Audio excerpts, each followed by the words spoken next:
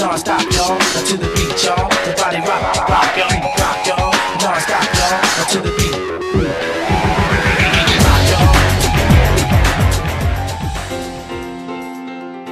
With less than a month left before the market day, learners and mentors gathered at Bernardino Heights High School in Kraaifontein in preparation for the big day.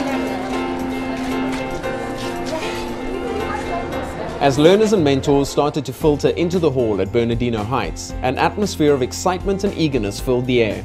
The day promised to be an interactive experience, providing learners with some last minute input towards the execution of their business plan on March 26th.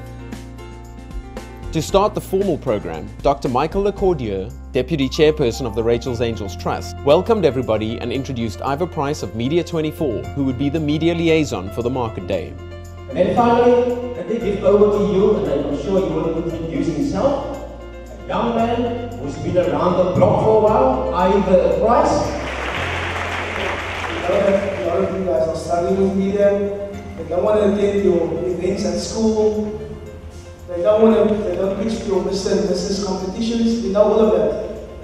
Ons het nou klaar die skerms die verhoudings vir vir julle en julle begin bou. We're going to introduce you to them as they arrive, and we're going to leave you with some tips and some practical exercises. Is that okay? During his speech, Ivor touched on the subject of what to avoid when dealing with the media, what a good press release consists of, and how to get your message across. At the end of his speech, he gave all participating schools 15 minutes to write a press release about the upcoming market day and all the activities that would be taking place.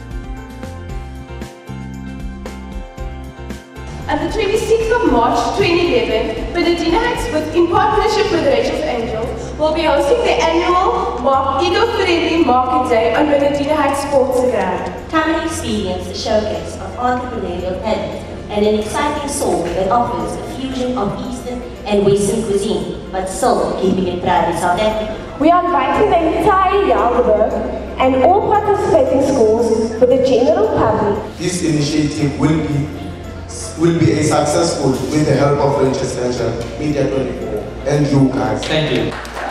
Malibu High won the challenge, as judged by Ivor himself, and enthusiastically celebrated their victory. After lunch, the learners and mentors divided into different groups where they could continue their discussion on market day and learners and mentees could catch up and reassess their goals for the year ahead.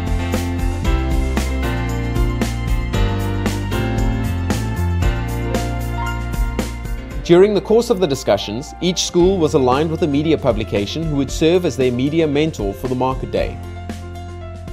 After a full day, learners and mentors left with a quiet confidence and a sound plan of action for Market Day 2011.